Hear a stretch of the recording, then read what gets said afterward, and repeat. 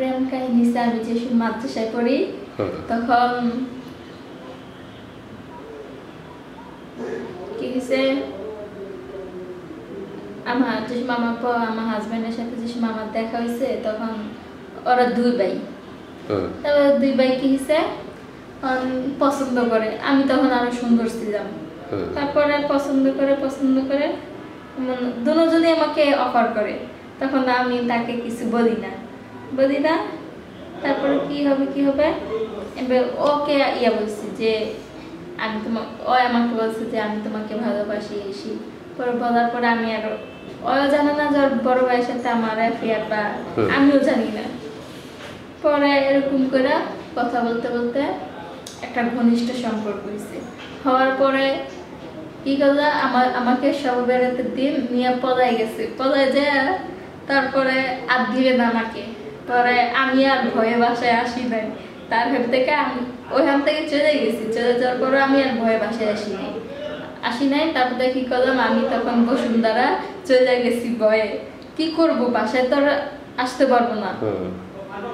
তারপরে কি করলাম? বাসায় এসে ওই আম্মুকে ফোন দিছি। বাসায় আমি যে বসুন্ধরা বাসায় কাজে লেগে গেছি।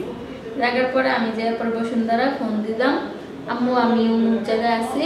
আমাকে যাও তারপরে আমার আম্মু গেছে, সবাই গেছে, আমাকে আনছে। আনার পরে আমি আর ঠরে বলতেছি না যে ও আমাকে এই করছে, সেই করছে বা নষ্ট করছে, তাও আমি বলতেছি না। পরে আম্মু জিজ্ঞাসা করতেছে, তোমার কি, কেউ কি তোমাকে কিছু করছে? আমি কই, না। সব তো সবার কাছে কইছি, না। একটা মামির কাছে যে সময় আমাকে হসপিটালে নিয়ে যাবে বলছে যে ডিএনএ ডিএনএ টেস্ট করবে। ইয়া ওই যে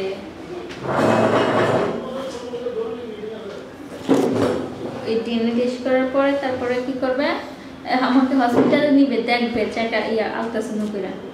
তারপরে এরকম করে আমিও বয়ে বয়ে দিচ্ছি যে আমি তাকে ও আমাকে এরকম করছে। এরপরে তো আমাকে সবাই দইরা মামির জাতের ভয়ে সবাই ধরে আমাকে বিয়ে দিয়ে দিছে। হুম দেওয়ার আচ্ছা। পরে কি হয়েছে? ছয় মাস ভালো ছিল। তারপর থেকে আস্তে আস্তে মারামারি শুরু হয়েছে। বকাবাদ্য শুরু হয়েছে। ওর সাথে ক- ক- ক- কয় রাত ছিলেন তার সাথে? ওই যে ইয়ের সাথে। একদিন। একদিনও না। রাত ছিলাম না আমরা ঘুরতে যাই আমি আর ভয়ে বাসায় আসি পরে কি কমু কি কমু পরে ঠাস করে রইল পরে ছয় মাস বাদে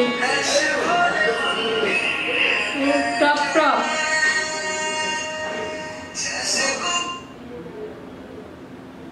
তারপর তো কি হয়েছে? এরপর আমি আর ভয় বাসায় আসি না আমি আবার বলে দিছি যে ওই আমার বেদে এমন করছে এমন করছে। পরে কি করল? আমাকে তো আত্মীয় স্বজন টাকাই না সবাইকে টাকাই না বিয়ে দিবে। ছেলে বিয়ে করবে আম- আমাকে বিয়ে না করে ছেলে মরে যাবে। তারপর আমাকে জোর করে রাজি করেছে রাজি করে বিয়ে বিয়ে দিলে বিয়ে দেওয়ার পরে ভালো ছিল। আপনারা জোর করা লাগল কিন্তু আপনি তো ওর সাথে যাওয়ার জন্যই না যাওয়ার যাওয়ার জন্য ছিলাম না। যেরকম বিয়ে তো আমি বসার জন্য তো ইয়া ছিলাম না। মানে ও নিয়ে গেছিল জোর করে? হুম। জোর করে নিয়ে গেছিল কি কোনো বাসায় না ওর বাসায় নিয়ে গেছে। ওর বাসায় ও কি একলা থাকতো? হুম। ভাই থাকতো ভাইয়ের বাসায়। ও আর ওর ভাই থাকতো একই বাসায়? ওর ফ্যামিলি থাকতো না ওখানে? না। তা আপনি কেমনে গেলেন যে একটা বাসায় ও একলা থাকে? একটা ভাবি আছে। এই ভাবির সাথে আমাকে কাকি যাও দেখে আসো আমার বাসাটা। তারপর তো আমি গেছি আমি তো আমি তো সরল মনে গেছি।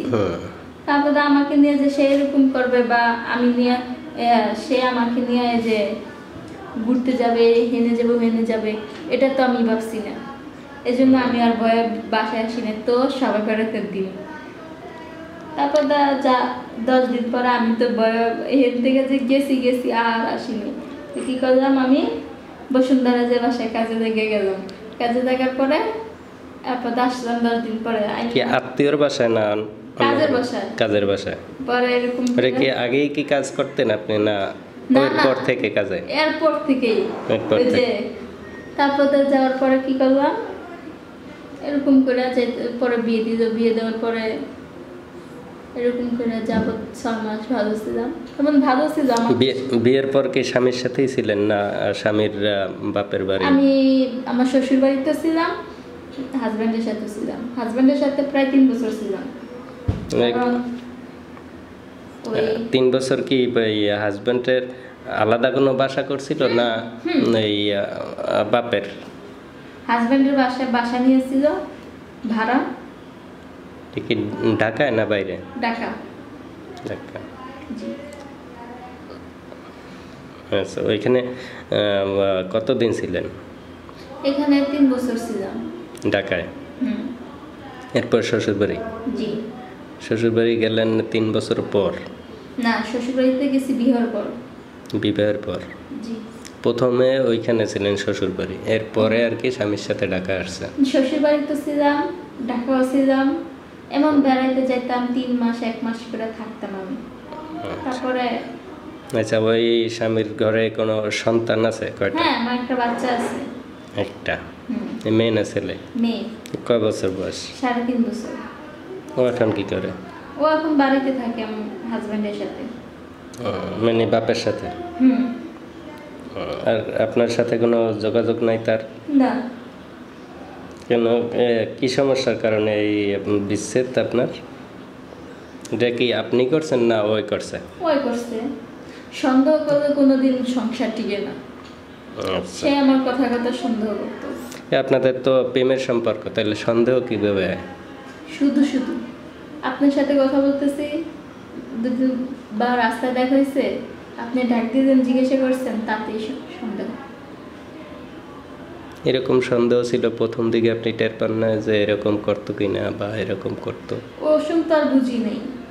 আবেগের কারণে তো আর বিবেকটা বুঝে গেছি। না প্রথম মনে করেন প্রথম দুই এক বছরের মধ্যে এরকম সমস্যা হয় না আপনার? বিয়ের পর থেকেই। বিয়ের পর থেকে হুম। তারপর এটা নিয়ে কোনো তার সাথে আলোচনা করেন না যে এরকম করলে। কীরকম তখন কি বলতো? সে আর কি কিছু বলেনি এখন কি আপনার স্বামী বিবাহ করছে না ওইভাবে একা? বলতে পারি না। আপনার সাথে- আপনার সাথে কোনো যোগাযোগ নেই? একেবারেই নেই? ফোনেও কোনো কথা হয় না, আমার ফোনেও বাচ্চার সাথে কথা বলতে না ও, বাচ্চার সাথেও এখন কথা আপনি বলতে পারেন না বা বলেন না। বলি না আমাকে তো মোবাইল নেই।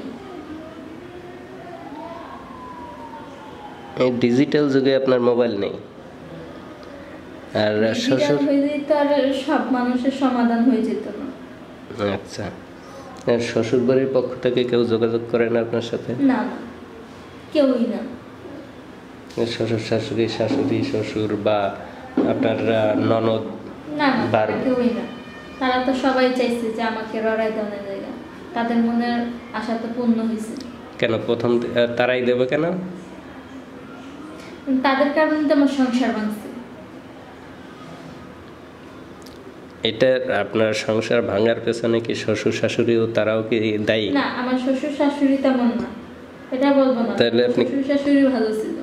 তাহলে- শ্বশুরটা ভালো শাশুড়িটা ছিল কিন্তু বাসুরটা ভালো ও বাস বাসুরাই সব নষ্ট করেছে আমাদের দোকান ছিল তখন আমার সংসারটা অনেক সুন্দর জীবন গেছিল। তখন কিন্তু আমি একটা যে নিজের সংসার যেরকম এরকম আমার সংসারে কোনো ইয়া ঝগড়া ঝগড়া তো সব সংসারই আছে। কিন্তু ঝগড়া হইতো আমাদের মধ্যে মারামারি হইতো কিন্তু মিল হয়ে যেত। কতক্ষণ পরে মিল হয়ে যেত? তাইলে এই যে লং টাইম যে সমস্যাটা, এই সমস্যাটা কেন, কীভাবে হইল?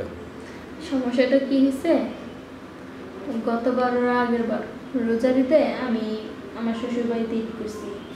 করার পরে তারপরে আমি বাড়িতে ছিলাম। সবাই অনেক ধরনের অনেক জনে কথা বলে, মন তিতা তাক্ত বানাই দিচ্ছে। শাশুড়ি বলে জামাই কামাই খাই না, এসে জামাই কামাই করে না। তো এগুলো বলে মানুষের একটা কষ্ট লাগে না এর মধ্যে দোকান নাই কিছু নাই। তোমরাই তো দোকান ছাড়াইছো। ওর টাকা পয়সা সব সম্পূর্ণ ওর বাপ মার কাছে আত্মীয় স্বজনের কাছে ওর ভাইয়ের কাছে আর ওর খালার কাছে। না আমি যা আমি বলতাম না। টাকা ওর টাকা পয়সা ওর- আমার তো কিছু না। আমি বলল আমাকে বলতো আমার বাপের বাড়িতে এনে দিই নাকি? তোমার বাপের বাড়ির থেকে আনো না কেন? হুম। পরে কি হলো? আমার ওই দোকান লাগবে। পরে আমাকে বলতেছে আমার আম্মু থেকে এক লাখ টাকা নেই আমার আম্মু এক লাখ টাকা দিবি কোথার থেকে? এই তো গরিব মানুষ আর তো ইয়া চলে না। তো ওদের এরকম করে দেয় না দেখা পরে বলতেছে যে রাখ তোর টাকা দেয় নাই তুই মজা বুঝবি। আমার টাকা দিস মজা বুঝবি? তো আমি কি করল আমাকে আমার বয়স নিয়ে তারপর তোর ভাইয়ের বয়সের সাথে তর্কা দুপিয়ে আমার সাথে তর্কা দুপিয়েছি পরে আমি বলছি আপনার বয়স আপনি এসএসসি এসএসসি দিয়েছেন আমি তো আর এসএসসি দিই নাই তো আমার বয়সটা তেমন হয় নাই। মানুষের বয়স হয়ে যে সব কিছু বুঝে তা না। পরে এরকম করে আমি ওর আমি তর্ক করছি এই জন্য আমাকে দুপুরে বক্সে আবার রাত বিকাল দিকে এসে আমার ঠাস করে চটকনা মারছে। তো কি চটকা করলাম? নামালো কেটা? আমার হাজব্যান্ডে হাজব্যান্ড করে দেওয়ার পরে আমি কি করলাম? কি কথায় কি কথায় চটকানা মারলো? যে আমি বলছি যে তোমার বাইর বয়স হ্যাঁ আমরা আমরা তোমরা টুকরি করতেছি। বলতেছি যে আমার বয়স তোমার বয়স আমার থেকে অনেক বেশি। এরকম নিয়ে একটা কথা হয়েছে। হওয়ার পরে আমার কি কথা শুনে আমি আমার একটা ঠাসের চটকনা মারছে।